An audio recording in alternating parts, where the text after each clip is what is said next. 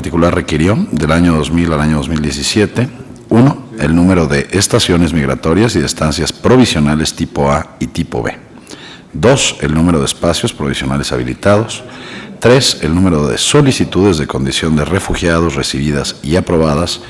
Y cuatro, el número de solicitudes de regularización por razones humanitarias recibidas y aprobadas. Se destaca la importancia de contar con este tipo de información asequible a la sociedad, en razón de que, como parte del fenómeno migratorio, se gestan diversas problemáticas en torno a las adversidades que enfrenta la, la población migrante en materia de derechos humanos se propone, se propone esta colegiación, revocar la respuesta emitida por el Instituto Nacional de Migración e instruirle para que realice una búsqueda exhaustiva en todas y cada una de las unidades administrativas competentes respecto a la información solicitada del año de 2000 a 2011.